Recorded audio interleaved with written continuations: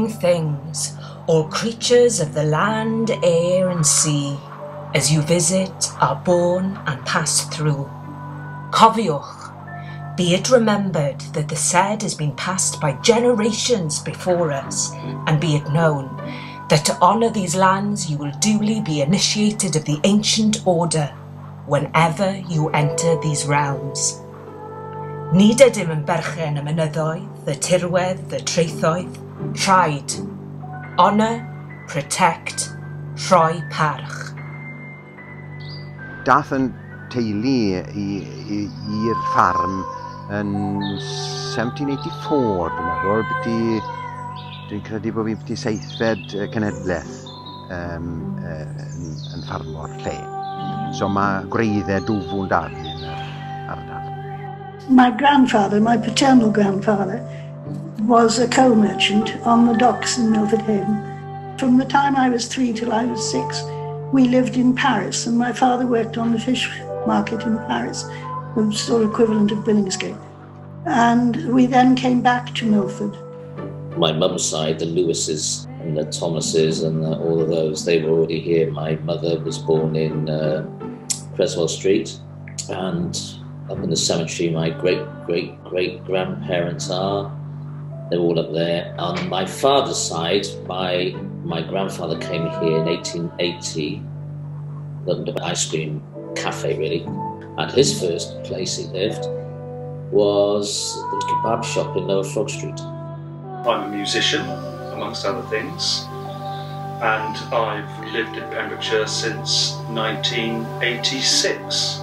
Nes i symud yma oherwydd y môr, es i brifysgol yn Abertawe, nes i cychwyn syrffio, nes i um, cychwyn dringo, a dyn, o'n i o hyd eisiau dod i gweithio yn y diwydiant olew, ac o'n i'n gwneud job dod i fyny yn y cyrfa olew, ac yn i'n meddwl, perffaith, mae o yn Sir Benfro.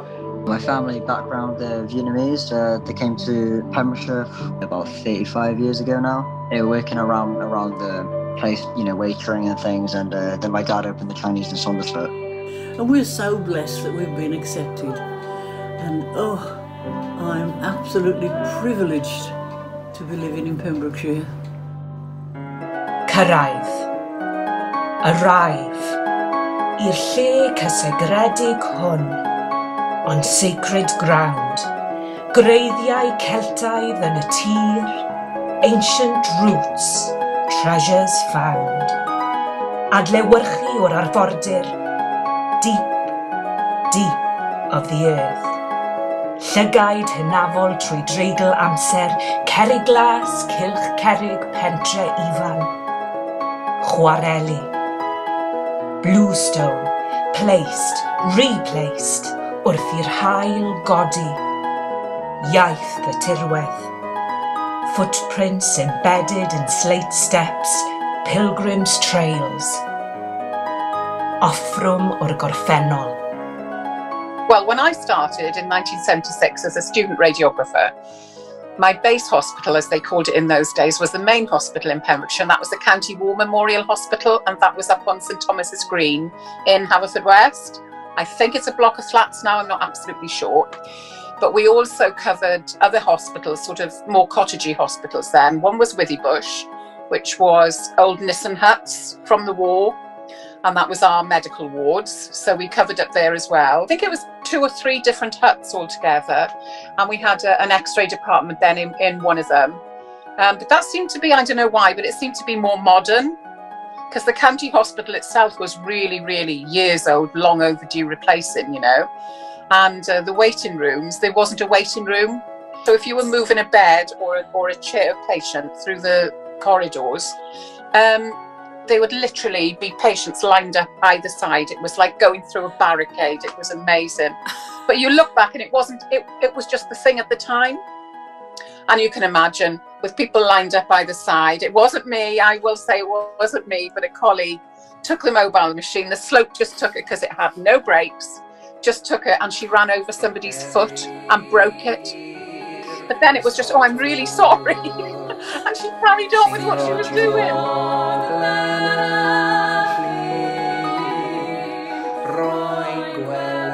I'll have a real affinity with horses. I'd have to be a wild horse, I think. You know, running around Pembrokeshire causing uh, chaos. I just, I just, anything to do with horses I loved, even now. And that's another thing I remember from my childhood. When I was a kid, there were horses everywhere. There were fields and there were horses everywhere. At, at least in each street, it seemed like in Penwyn and Buffalo and all, because we got all the fields that go down to the river. Everybody had horses. To be out in the countryside and suddenly come up upon a horse in a field is just such a rare occurrence now. You think, oh my God, there's a horse. Whereas, like when I was a girl, I remember that was that would I'd take up all day just going around look, seeing all the horses because there was just loads of them. Sacrifices felt, ancient bleeding you, sydd, coch, gwaed yn diferu. Ffermwyr lleol, merched beca, dwylo cryf, torri'r toilborth, torri'r treth. Uh, beth sy'n mwyaf profocli yw fel bod cynulliad ati yn Cyrdydd sy'n môr bell o'r ffordd ni'n byw rhwng ffordd yn dyfa, a nhw sy'n gwneud y rheolau a nhw sy'n gweud ni siwt i farmo. Amser sy'n gest yn nhw hunain, yn dyfa. Hwna yw peth mwyaf brofoclyd. A ti'n beth maen nhw'n beth maen nhw'n deall beth i cefen gwlad. A ffarmo hwnna'n galed o'n ofnadw nawr, so ti fel yn ti'n mae fe'n ffordd o fyw yn ytrach na fel ffordd o ennill bywoliaeth. Mae'r fwy o ffermwyr o'n ffrind sy'n cadw falle biff y defer yn gorfod cadw fel swydd arall yn dweud. A ti'n meddwl, sy'n rili wneud sens. Achos ar bapur, ti'n mae'r deiar yn ei gyd ati, ynddo fe? A ti'n edrych yn ariannol gofnadw, ond ti'n meddwl, so fe'n so fe yn job y diawl i ennill cyflog mas o fe, ynddo fe. Ond ti'n neud e, achos ti'n wedi cael dy fagu mewn i fe a na beth sy'n yn y, yn y gwad ynddo fe. Ein hatgofion ni. Childhood in the wild, ar ffarm yn gweithio'r tir, Cefn Ceffil, Pembroke Castle Moat. Llwybr yr arfordir, smell the morning, silence with the stars at night.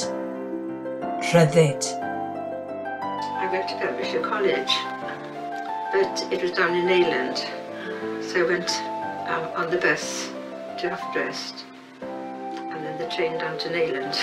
so it was quite a way to go then. Yeah. And then it was a steam train from Neyland all the way to Swansea. Do you know, I can still smell that smell what, of, of, the, of the steam train, yes.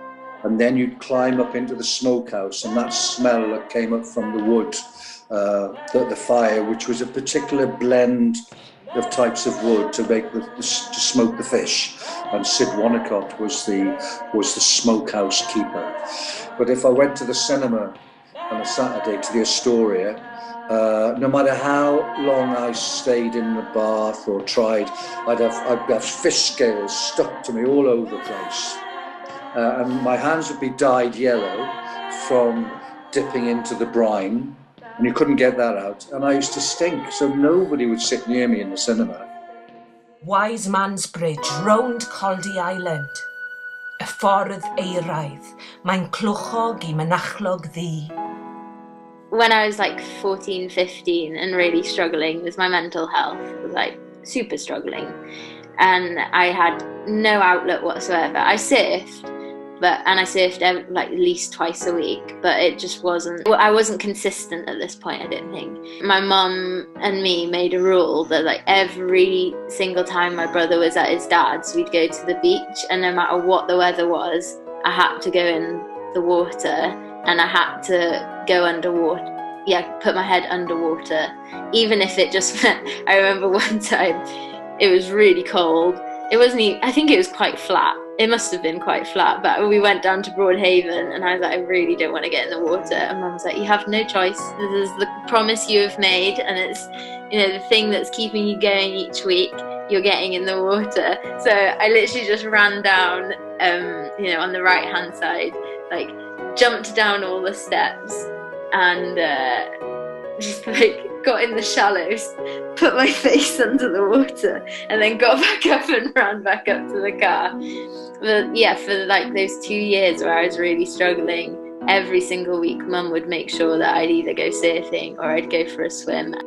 Da chi'n gyda natur, da chi'n gallu gweld pob peth, ydych chi'n edrych nôl at, at y glad a dych chi'n cael you know, these amazing golygoedd o'r fel sunsets a dych chi'n dal y ton a dych chi'n teimlo dych, fel dych chi'n hedfan, dych chi'n gallu gweld um, uh, yr anifeiliad, y, y môr, dych chi'n gweld y sea lion, y seals, dych chi'n gweld uh, Roges ymlaeth natur, syrffio, dal y tôn, hedfan, edrych yn ôl at y wlad.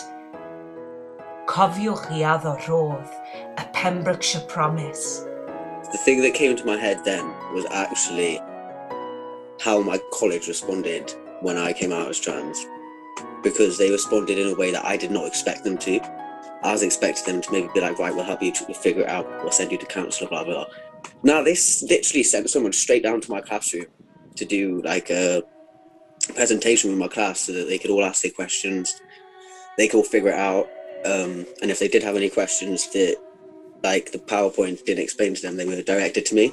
Um, shaking a little bit actually, because um, that isn't something that I would have expected. I was expecting to be like shunned, like I had in most other areas when I tried to like be myself. It's one of the reasons I went to college, to be fair. It allowed me to not be as scared as I was about coming out and being myself. And college was probably one of the safest places I felt as Nick, even like afterwards. Genedlaethau o ffermwyr yn pigo tato, oen yn ei dymor, greiddiau'n blyguro, gobaith yn y tir. Lle mawr, dros ceie, lan tri cael lan y ffarm, hei mynd trwy'r goedwig i Megan Wells, ffarm drws nesaf, i mofyn bod nhw wedi dod â sachyd o fflwr i ni. A llysgo honno gytre trwy'r eira, a, a wedyn we bobl yn byw lawr yr hewl, wrthon ni ar y groesffordd yn, yn, yn lawr dyn ni yn bwys yn, yn y byneser fyna, Wyn ni'n mynd â peth blawd i nhw er mwyn i nhw cael gweithio bara, achos we hwnna'n fwyd i nhw. A we hwnna, a we plant we ni. Wel, we ni, dwi'n credu, uh, nawr te, dwi'n ni yn Dwi'n chi'n alaf i wneud nawr. Wen i byti 8-9 mlynedd wed. Yn llusgo sacher. Dwe, a we an yn ysgol uwchradd, jyst wedi dechrau ysgol uwchradd. Lleisiau ar y gwynt, battling the raging sea. Tynnu rhwydi, trawlers pulling, flares shooting stars in the night sky. I gysgodfan yr harbwr. Feet run to the docks, lifeboats protection. Some say the grounds were overfished, others blame the price of oil. Whatever is the reason, few are left the seas to toil. Ship's husbands, decky learners, boatswain's mate and all the rest. Most folk won't know these names if you put them to the test. The ships had noble names, like Alexander Scott, Milford Knight and Milford Viscount, which was tragically lost. Most men wouldn't talk about the hell that they went through. They cast their nets in stormy seas. They had a job to do. So when they came ashore, they did used to party a bit. and the, the ship's husband used to go around the pubs, dragging them out and getting them ready if, if, if you were short, sort of thing. And if you couldn't miss the dock gates, because you'd be stuck there and then you'd lose the rest of them. Ovid Calon, ieuenctid y dyfodol, farwedd yn y geiaf, ffenestri dywyll tai haf gwag. Ffermydd bach yn diflannu, cymunedau yn oltro, tiwristiaid yn darganfod yr harddwch, yr hanes, guests discovering – Symud ymlaen i dyfodol newydd, to a new future. So I'll share too. You know, what I've mentioned, my son died, and we all knew it was going to be a a bloody big funeral, you know, because he was a bloody big lad and had a lot of friends, and, and we hadn't got anywhere to. we hadn't really got anywhere that was big enough because we knew that hundreds of people would turn up. And he used to love um, car boot sales. He was a nutcase. He drove me nuts, looking, looking, looking, and And we used to go to this one in Carew, Carew Market, a big one on a Sunday. It became a regular feature. And, and yeah, he absolutely loved it, uh, particularly when he found a skip behind it where people who couldn't sell stuff, they'd chuck it in this skip. so at the end of going round it, we, he'd just disappear every time. And, and sure enough, he'd come back. I've still got some of these weird things he'd, he'd pull out of the skip because they were free of charge. You like things free. So having looked everywhere for a, a hall or, I don't know, somewhere with enough car parking, uh, and somewhere that could be big enough to hold what we intended doing, um, Carew Market came up and they were brilliant. Although they didn't really understand we were going to hold a funeral with a body in it. and you know, I can remember the morning that we arrived to set up in, and we did have six, seven hundred people coming. And I looked inside this huge hangar and I thought, Jesus, how on earth is this going to create an intimate space? And I think this is Pembrokeshire for you because they have people who care. And within, I don't know, within an hour or two, you know, people with Land Rovers, well, not just Land Rovers, but people with cars were turning up with trees.